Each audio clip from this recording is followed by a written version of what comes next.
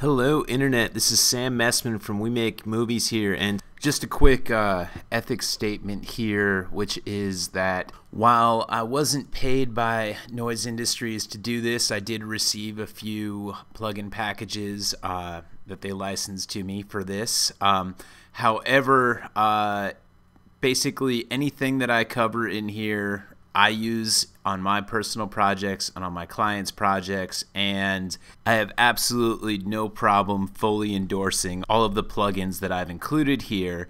Anyway, the first thing you want to do is go to the Noise Industry website, which is noiseindustries.com slash fxfactory. Uh, what you want to do is click on the Download FX Factory button from the main page there, and it's going to download the software, and then uh, once it's done downloading, you're going to want to open it up.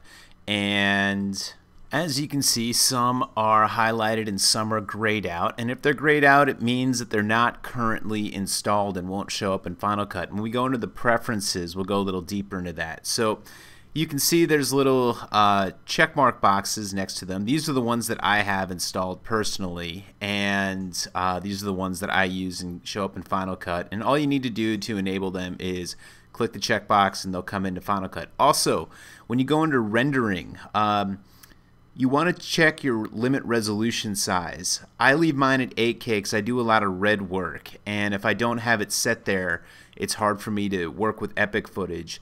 But you can basically render any resolution. That setting's basically there to protect slower computers. So if you have a slower machine, you may want to set it a little bit lower.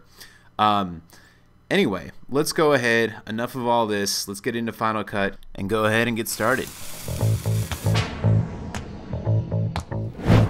So what I'll be showing you here is Ripple Training's callouts. Uh, if you're wondering how I've been doing all of those pointers and magnifications and stuff, I've been doing it with this series of plugins that Ripple Training designed and they're really easy and really intuitive to use. So let me give you a quick demo basically the first thing I'm going to do is let's add a magnification to this project here and uh, I'm going to extend that out and then to get it to come up all you need to do is click on it and you'll see that little anchor point in the center that you can drag up I'm going to drag that so that the end is centered but the problem is that I need to have the magnification for this go down a little bit so that I can see this a little better so I just drag the magnification slider and get the end centered to where I want. Now I'm going to adjust the ring and the border so that it is a little more pleasing to the eye and I simply drag the anchor point done. I'm going to turn off the blur background because I want to see the thumbs up and that's it. That's all there is to it. Couldn't be easier. And next I'm going to add a little pointer just to give a little emphasis to what we just magnified. And these are incredibly easy to use as well. Um, as you see, you have the option to have some text on there. We're going to delete the text uh, in this example. And now I'm going to change the shape of the arrow by dragging that endpoint in. And I'm going to drag it down to rotate the arrow. And now I'm going to move it over with that middle control point there. And as you can see, we're now pointing at ripple callouts with an arrow. Took about 10 seconds. Um, Lastly, we're going to add a checkbox and finish this up. Uh, a little green checkbox that's going to go uh, to complete the animation. And this is incredibly easy to use as well. You'll see it appear in the upper left hand corner. I'm going to drag that control point to reposition it and now I'm going to change the size and reposition it again to the bottom right hand corner.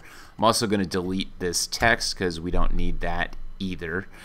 And let's switch back over to the title pane and let's increase the scale of the checkbox um, to get it to a size that we want. And now let's go ahead and reposition it to the bottom right hand corner.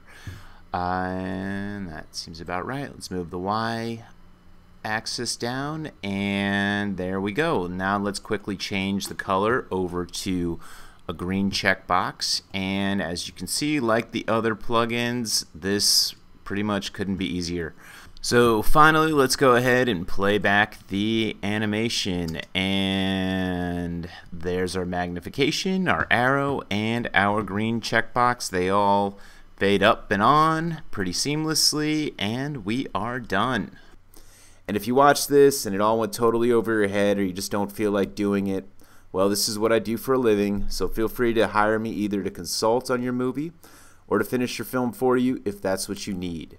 So, if you want to get in touch, just drop me an email over at sam at wemakemovies.org. And lastly, if you're wondering what this whole We Make Movies thing is, check us out over at wemakemovies.org, or if you live in LA or Toronto, sign up for our newsletter and then come to one of our events. I'll see you guys next time. And cut!